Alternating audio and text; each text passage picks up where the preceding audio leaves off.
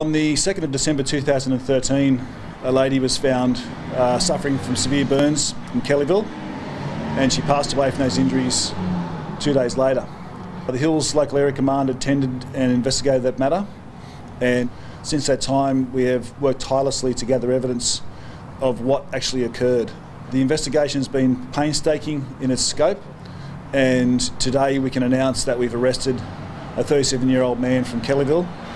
and uh, he's now assisting detectives with their inquiries and will soon be charged with one count of murder and appear before the Parramatta Local Court this afternoon. The investigation is quite noteworthy in that uh, it was a dogged pursuit of truth. It was a very, very complex matter and involved the services of a number of specialists, including members of the legal profession, the fire brigades, technical and forensic specialists, cultural specialists, and if it wasn't for the efforts of the Hills detectives, assisted initially by the homicide squad, this result today, which I suggest is a very significant result for justice, would not have been achieved.